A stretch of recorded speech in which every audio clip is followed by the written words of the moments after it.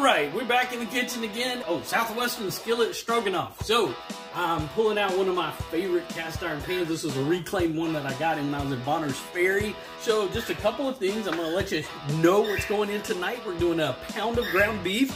Um, we've got 16 ounces of salsa.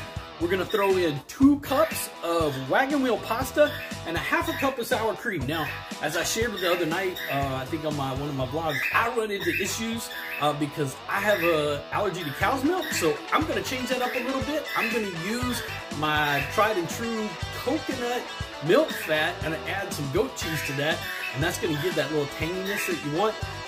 Hey, so we're getting ready to finish things up. You'll see in the background is Logan going in.